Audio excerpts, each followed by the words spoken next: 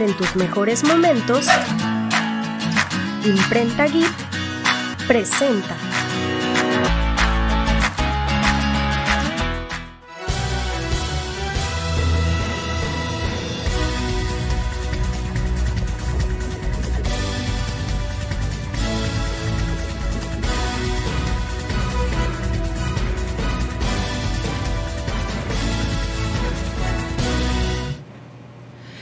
Tal? Muy buenas tardes. Soy de la Opinión de Poza Rica. Soy su amiga Mireya Ulloa y este es el noticiero de la Opinión Multimedia. Me da mucho gusto que estén acompañándonos. Les comento que este va a seguir el clima muy caluroso. Dicen que próximos días va a ser un poquito de lluvia, pero mientras tanto sigamos soportando la temperatura superior a los 30 grados centígrados. Pero a continuación vamos con la información local. A continuación, el, el acontecer más relevante de Poza Rica. Poza Rica.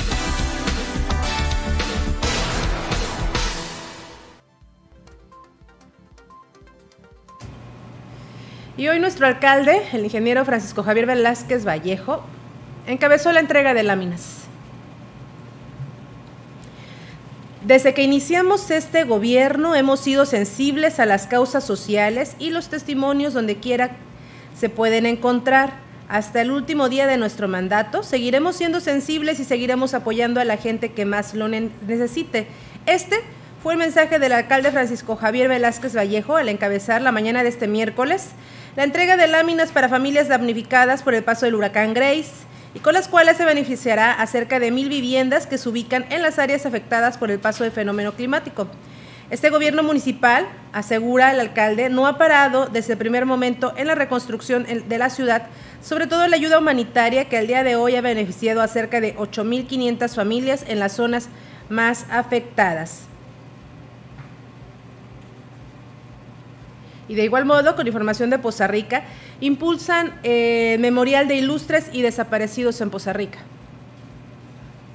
El colectivo María Herrera construirá bancas de concreto en cuyo respaldo grabará el nombre de personajes que hicieron historia en la ciudad de Poza Rica y que han fallecido de una manera injusta, así como de hombres y mujeres que han desaparecido. Esto lo informó la activista Susana Marlene Mar Santamaría, quien precisó que es un memorial para rescatar del olvido a ciudadanos honorables y tiene el propósito de recordar a cada uno de ellos. Comentó que se han construido cuatro bancas de concreto de un total de 40 que están contempladas por el momento y será un tramo de 1.200 metros desde la quebradora hasta el puente Cazones 1 sobre la ribera del río Cazones.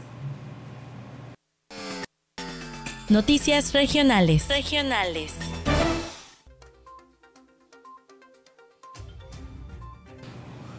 Y comenzando con la información regional, eh, es de Coatzintla. Fíjense que ahí se suspendieron las actividades en Casa de Cultura.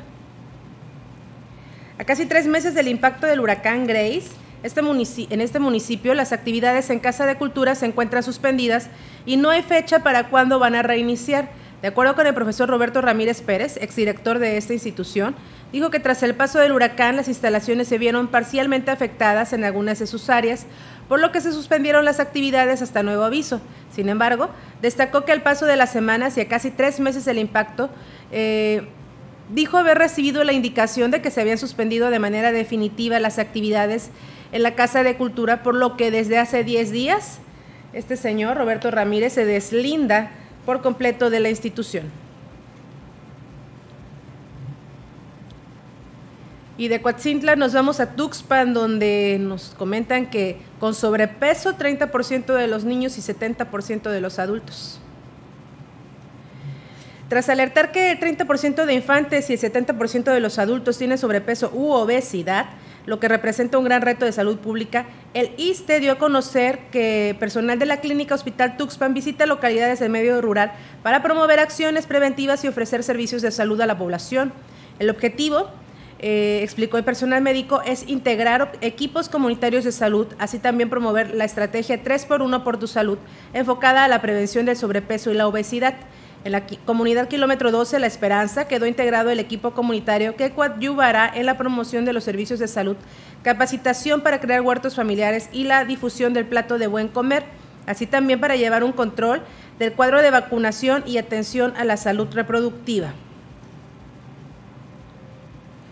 Ojalá no quede solamente en proyecto, que logre quedar aterrizado y que efectivamente se logre hacer algo por el sobrepeso, pues en este caso de los niños, más que nada, los adultos pues ya saben lo que deben de comer y lo siguen comiendo aunque les haga daño, pero los niños pues ahí también dependemos nosotros de adultos darles una alimentación balanceada, sana, saludable. Y ahora con información de Tihuatlán, hay escuelas en riesgo por daños estructurales. Para evitar cualquier posible accidente que se pudiese presentar dentro de las escuelas durante el regreso a clases, es necesario que los directivos de los planteles que se vieron dañados en su infraestructura por el paso del huracán Grace soliciten a la Dirección de Protección Civil los dictámenes técnicos estructurales. De acuerdo con el director del área, Ismael Callejas Guzmán, hasta el momento solo se han visitado 15 planteles en todo el municipio en donde se ha verificado que las instalaciones cuenten o no con las condiciones necesarias para que los alumnos puedan permanecer dentro de las aulas. Vamos a una entrevista con el director del área, Ismael Callejas Guzmán. Sí, desde preescolar hasta telebachillerato, este, en el cual se han venido aquí a presentar al ayuntamiento entregando su oficio correspondiente para dar una opinión técnica de riesgo dentro de los planteles educativos, en el que te puedo hacer mención Alrededor llevamos ahorita de 15 escuelas aproximadamente de los que se han venido a acercar aquí a, este departamento de protección civil para poder otorgarle a nosotros este, la opinión técnica de riesgo, en el cual ahora sí ellos lo quieren porque están a muy pronto de regresar a tener ahora sí sus clases presenciales, en el cual quieren ver los riesgos que tienen algunos domos que no colapsaron, pero que se ven pequeñas fisuras dentro, dentro de, su, de su estructura de soporte, en el cual hoy así tienen el riesgo de que pueda colapsar. Y en otros, pues lo requieren los domos que hayan colapsado también por el riesgo inminente que, que estos generan un, un, ahora sí, algún accidente dentro de, de, este plantel educativo. En este caso, Ismael, los, los que ya fueron revisados, ¿cuáles serían? Hasta el momento te puedo decir algunos ahorita que te puedo, puedo hacer mención está lo de la Chazarreti, están los domos aquí de la telesecundaria de la colonia Azteca, está el telebachillerato del sector 5, está la escuela Ignacio Ramírez de, Totolapa, este, Y ahora con información de Álamo, allá les comento que la joven de Amajac ocupará el lugar de la estatua de Cristóbal Colón en la Ciudad de México. Una réplica de la escultura prehispánica de la joven de Amajac o gobernante de Amajac sustituirá a la famosa estatua de Cristóbal Colón en la icónica glorieta de la avenida Paseo de la Reforma en la Ciudad de México. Claudia Sheinbaum Pardo, jefa de gobierno en la capital del país, detalló que la pieza tendrá una altura de 6 metros y será elaborada por especialistas del INA. Mientras tanto, la efigie original encontrada el pasado primero de enero en la parcela del ejido Miguel Hidalgo permanecerá en exhibición en el Museo de Antropología e Historia. La decisión de sustituir a Colón por la gobernante la tomó el Comité de Monumentos y Obras Artísticas en, Espacios Públicos en la ciudad como un homenaje a las mujeres indígenas y su resistencia a lo largo de la historia. La obra prehispánica fue localizada en una parcela de cítricos donde trabajadores del lugar realizaban labores propias del campo y es una pieza tallada en piedra caliza de más de dos metros de altura perteneciente a la cultura huasteca.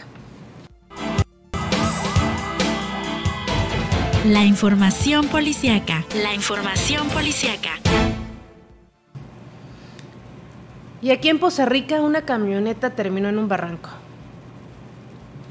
Al filo de las 11 de la noche de, ayer martes, una camioneta quedó hundida en un desnivel al lado de, de una de las calles de la colonia Reforma, ocasionando molestia entre los habitantes de dicha vivienda. Se sabe que esta unidad la habían estacionado sobre la calle Pípilas, varios metros atrás de donde quedó, pero la persona que le iba conduciendo al dejarla estacionada se le olvidó colocarle el freno de mano y como el sitio donde la dejó está cuesta abajo, la camioneta pues pues se fue, se fue al barranco. Fue entonces que comenzó a moverse a donde la deja, de donde la habían dejado, acabando en el barranco de terreno baldío que está casi frente al domicilio donde, de donde estaba estacionada, por lo que lo único que pudo detenerla fue la barda de una casa donde comienza la calle Tuxpan y al impactar causó un estruendo que alertó a los habitantes de dicho lugar. Y de Poza Rica nos vamos a Papantla. Recuerdan, hoy sacamos en el periódico impreso de la opinión de Poza Rica que habían plagiado a un niño, un menor de tres años. Afortunadamente hoy, hoy ya fue recuperado. Elementos de la Secretaría de Seguridad Pública del Estado, adscritos a la región cuarta con sede en Papantla, lograron recuperar al menor de edad que se encontraba en calidad de desaparecido, siendo localizado en la localidad de Santa Águeda, perteneciente a este municipio. La recuperación del menor de tres años y de nombre Gilberto ocurrió en el auditorio de esta localidad, hasta donde acudieron los elementos de seguridad para lograr el resguardo del menor que fue trasladado a la cabecera municipal.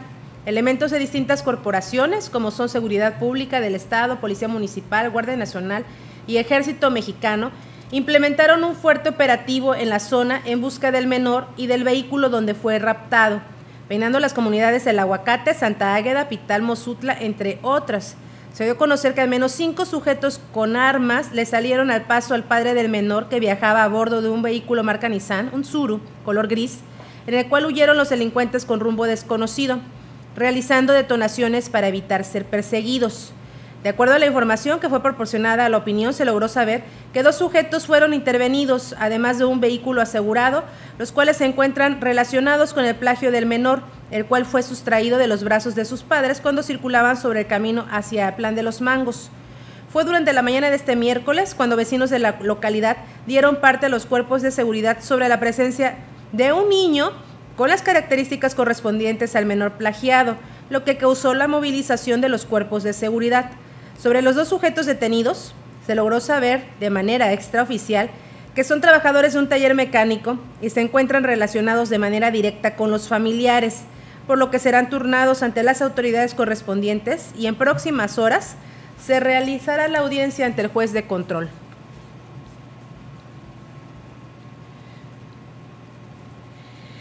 Y en Tuxpan, en Tuxpan, este, atraparon a una persona que había cometido asesinato en el 2018. Un hombre que habría asesinado a golpes a un sujeto en el año 2018 pudo ser capturado en el estado de Tamaulipas, donde por años se ocultaba creyendo que el caso había quedado en el olvido. De acuerdo con un comunicado emitido por la Fiscalía, el acusado, al que identifican como Roberto, fue capturado en Tamaulipas, esto con base a una orden de aprehensión por presunta responsabilidad en la muerte de quien en vida eh, tuviera las iniciales CRB. Trascendió que los hechos ocurrieron el 18 de noviembre del 2018 afuera de un domicilio ubicado en la avenida Cuauhtémoc eh, de la colonia Adolfo Ruiz Cortines de Tuxpan, sitio donde probablemente el inculpado habría atacado a la víctima.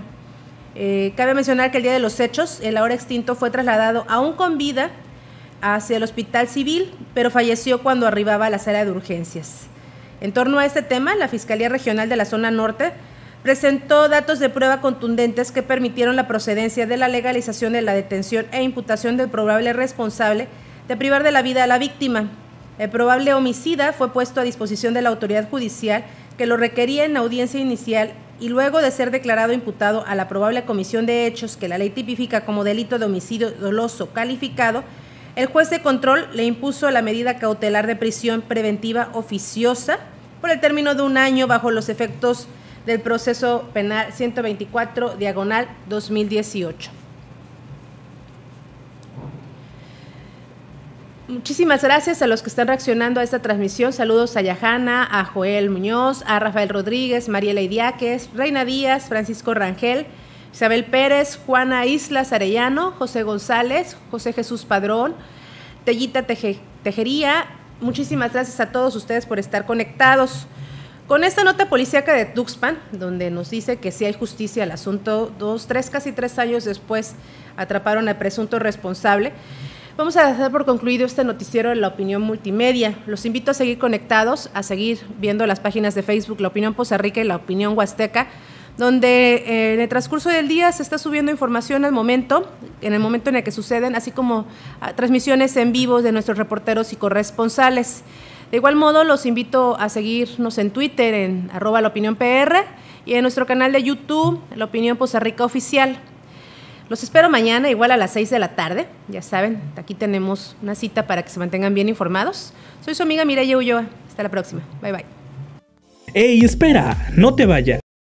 Recuerda que puedes anunciar tus productos y servicios en el periódico La Opinión, el mejor diario de la zona norte de Veracruz. Llega a más personas compartiendo tus ofertas por el medio impreso o las plataformas digitales, como el noticiero, el resumen informativo, Noches Coquetas, por supuesto, cotorreo estudiantil y viernes social. Puedes visitarnos en la calle Mariano Arista número 209 en la colonia Tajín. Recuerda seguirnos en Facebook, Instagram, YouTube, Twitter y la web. Marca el número 782-82-20241 o 782-82-20196. Ahora sí, llama ya.